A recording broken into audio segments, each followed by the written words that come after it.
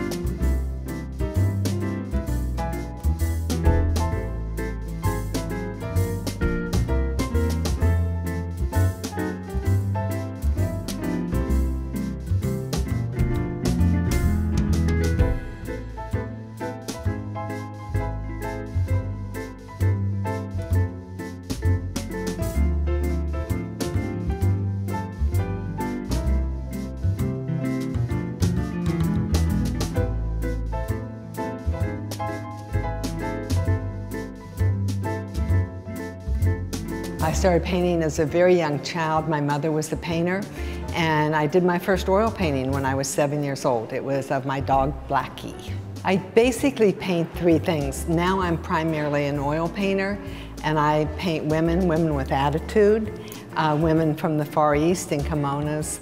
Um, I paint flowers and tabletops. I like checkered tablecloths, and I like uh, polka dots and I paint landscapes. I enjoy the landscapes mostly in Colorado and New Mexico, but I do some also in Arizona. You're seeing a collection of work that I've done in the last year, and the work has been hung in such an interesting way. The director of the Scottsdale Artist School, Bernadette, and Daniel, who have hung this um, uh, show, have just done an amazing job. And you'll see as you start at the front door and walk through the coordination of the colors and the themes um, are very um, cohesive as you go down the hallway. Color uh, inspires my work. I, I, get excited when I put out paints and just see beautiful colors. And um, I love uh, things in nature. Um, I love the outdoors, flowers, trees, mountains. Um, and I love people, and so I love to paint people as well.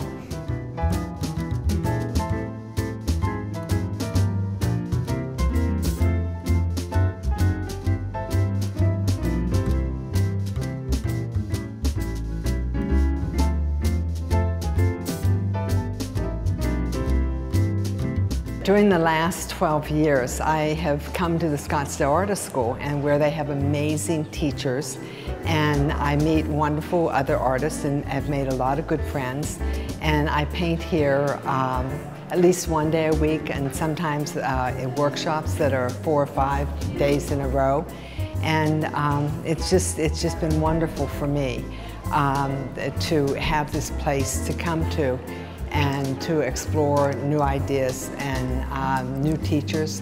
I've had wonderful teachers here, Nancy Shaboon, Hetty Moran, um, Milt Kobayashi, and um, I've been inspired by their instruction and their examples. Um, they're all wonderful painters.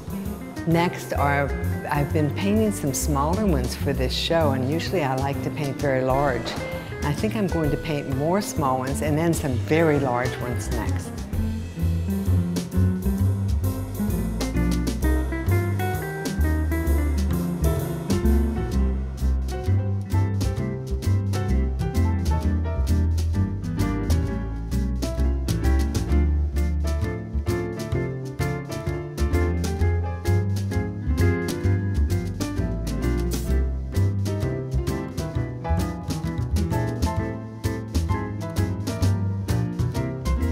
Thanks everyone for being a part of my special day and thanks everyone at this school for being so supportive and so loving to me um, during all these years that I've been studying here and coming here.